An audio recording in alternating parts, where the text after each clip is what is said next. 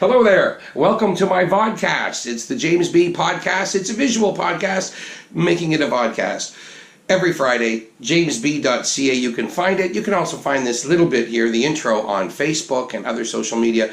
And of course, uh, we're going to get to an in depth interview every week. I talk to somebody fascinating. And if you go to jaymzbee.ca, you can see all the old podcasts, 35 of them so far.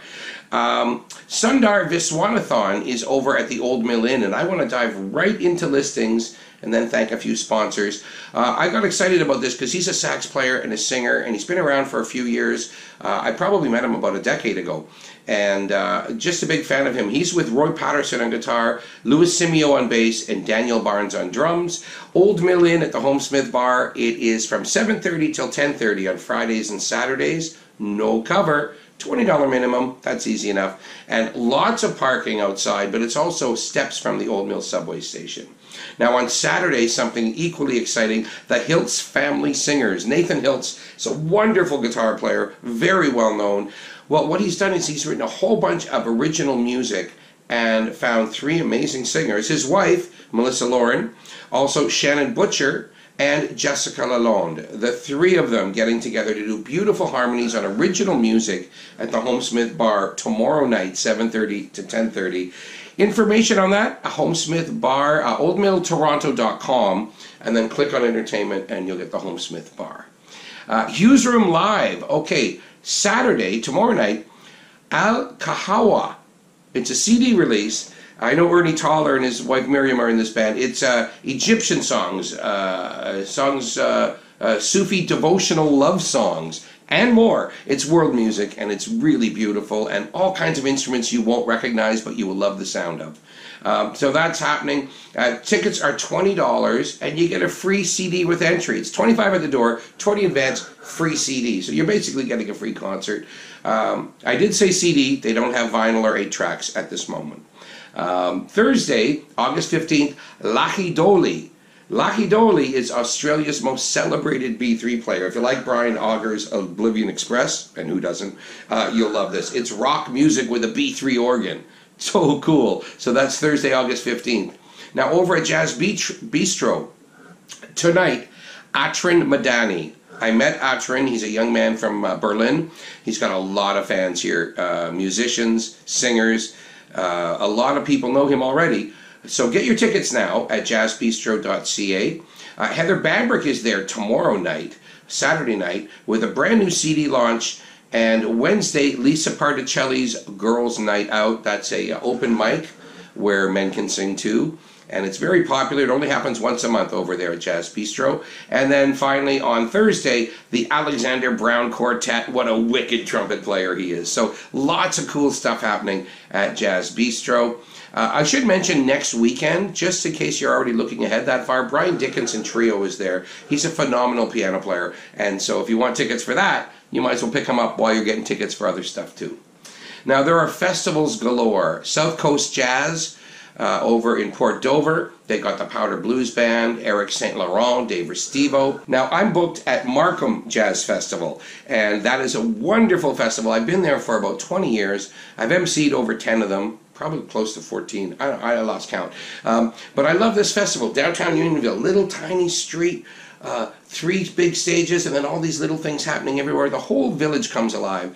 And um, from New York City, Brandi Disterheft is coming. From the West Coast, Michael Kaeshammer is coming. Some of my favorite locals are there. George Koller has a set. Allison Young has her own show. Tia Brazda, Jay Douglas, John Finley. So much stuff happening Friday, Saturday, Sunday.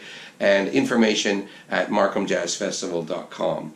Now, one last thing, I do want to thank my sponsors before I bring up my, my guest. Uh, I want to thank. Uh, barberfinancial.com. Here's a guy who's given me financial advice and helped me out a lot. Well, he can help you too. And uh, really just ask him anything. It could be really big. Oh, I got a company, I got eight employees, I got to find some benefit packages. Or it could be, hey, I stubbed my toe. No, probably not that. Well, anyway, something personal. Maybe your own finances, not something so big.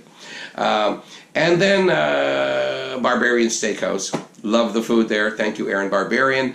And uh, I want to thank everybody at Patreon. That's a big one because you could do that. $5 a month, $10 a month, whatever you want to do to help me out. I'm an independent artist and every bit helps. Thank you to the people who are supporting this.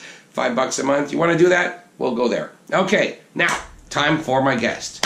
Who is it? You'll see. Yeah! Hey, it's me, Allan, and this is my first interview. All right, Allan, uh, is it true you were born in Toronto? Yep, but uh, unlike you, I was born at five years old already. I'm now 11, trapped in a five year old body. Uh, I was uh, purchased like a slave uh, December 2014, and I'm glad you picked me, but I kind of wish that I was with Heather Luckhart right now. She was with you when you bought me, and she's cuter. I always remember that first night. I was hoping she'd join us, but you took me home alone. Creepy. Uh, anyway, uh, I remember very well uh, the night that I messed with you for the first time. You were trying to sleep upstairs, and you put me down on a table, and I wouldn't let you sleep. I kept saying, Come down here and place me gently somewhere. Somewhere I could look at stuff and not lie on a table like an old used newspaper. Anyway, after 10 minutes, you came down, and then you sat me up and you put a broom handle up my ass, and then I could see your entire loft. It was kind of cool, and I knew that you were a pushover. Uh, I read the book Magic by William Goldman. Oh, yeah, but unlike Corky the Dummy, I didn't actually ruin your sex life. Are you saying that you never ruined a date for me? Well, I'm kind of like you, with even less of a filter, so yeah, I probably uh, blew a few. But you know what? Most people think that I'm actually you and not me. The fools. uh, okay, listen, I know better. I, I know when to bring you out and when to hide you. Yeah, and now I barely perform. I was really mad when you bought that $2 fish puppet. It was like a plastic piece of shit at a yard sale. Then you started playing with it all the time. It made me feel so sad. You know, puppets are basically slaves. You buy us, and then we have to perform whenever you want. Yeah, yeah, yeah, yeah, yeah, yeah, yeah, yeah, yeah, yeah, yeah. Lame. But you love performing. Yeah, I do. I admit arguing with you and changing lyrics to songs, it's fun. But also, fucking with you in front of a bunch of people, it makes my day. okay, so who are your, some of your influences? Hmm, let's see. Uh, I like Kermit. I don't like Gonzo. Uh, I like Fa- Fozzie the Bear. Uh, I don't like Tickle Me Elmo. He's like the R. Kelly of puppets. Uh, and uh, I like Grover, but the Cookie Monster, a complete fucking idiot. Okay, uh, moving on. Uh, what do you have coming up? Well, in about five minutes, I'll probably have a mop handle up my ass again. I'll just be sitting in the bathroom waiting for you to come and play with me.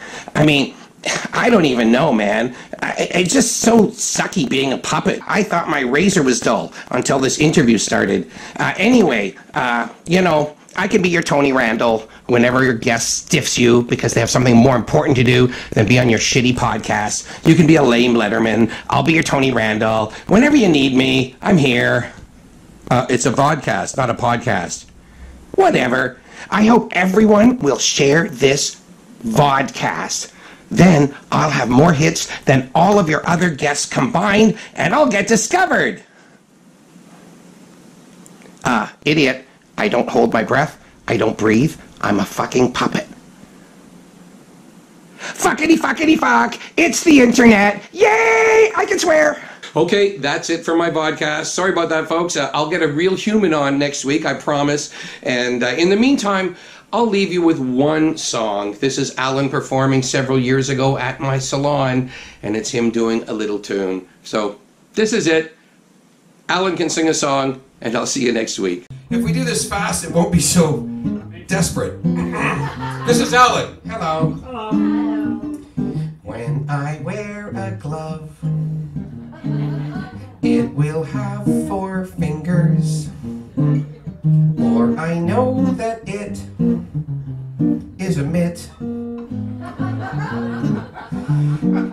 In midless world like this is, gloves outnumber them least ten to one.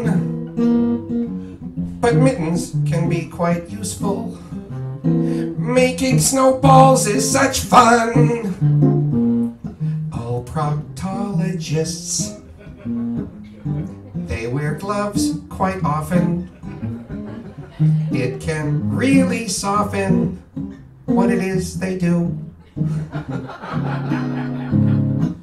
the moment that I feel that you feel that way too, that's when I'll buy some gloves. Ooh, a little fist and a push and a shove. Yeah, I'm a puppet. That's when I'll buy some gloves for you. Sorry, that's creepy. Ugh.